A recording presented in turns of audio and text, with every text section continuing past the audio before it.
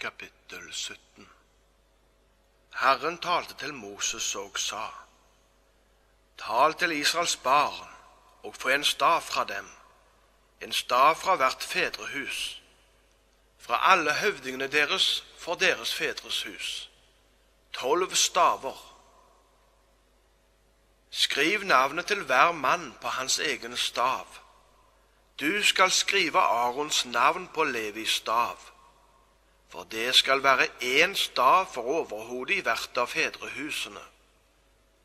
Så skal du legge dem i åpenbaringsteltet foran vitnesbyrdet, der hvor jeg møter dere. Da skal det skje. Staven til den mannen jeg utvelger, skal spire. På den måten skal jeg få all klagingen fra Israels barn bort fra meg, den som de plager dere med. Så talte Moses til Israels barn, og hver enkelt av høvdingene deres ga ham en stav, en stav for hver høvding i sine fedrehus, tolv staver. Arons stav var blant stavene deres.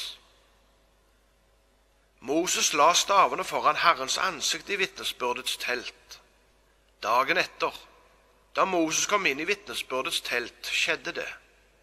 Se Arons stav den som lå der for Levis hus, spirte og skjøt knopper. Den blomstret og hadde gitt mandler. Alle stavene som hadde ligget framfor Herrens ansikt, tok Moses da med seg ut til alle Israels barn. De så dette, og hver mann tok sin stav.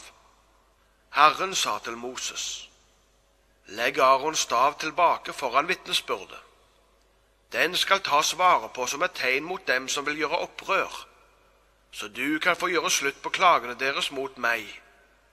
Hvis ikke skal de dø. Slik gjorde Moses.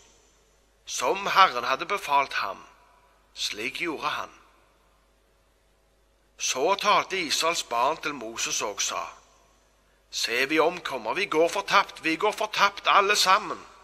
Hver den som nærmer seg Herrens tabernakel, må dø. Skal vi omkomme alle sammen?